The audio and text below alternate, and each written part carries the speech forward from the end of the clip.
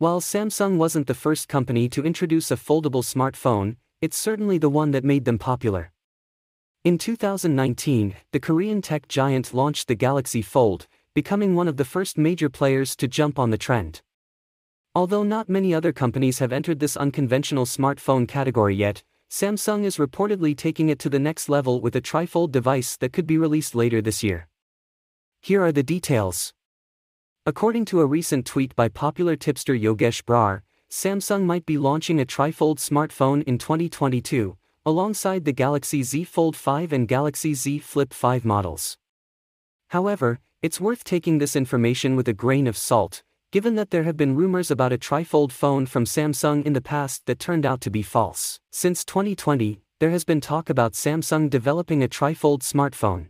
The company initially demonstrated the technology and filed a patent for it around that time. Additionally, the brand's display arm showcased a concept of a triple folding smartphone along with other unconventional phone designs during MWC this year. The patent revealed the device will have not one, but two hinges. With one hinge enabling an inward fold and the other hinge enabling an outward fold, the phone will take on a Z shape when partially folded. What's interesting about this design is that the outward folding hinge will allow part of the screen to be used as a smartphone display, eliminating the need for a separate screen for the phone panel.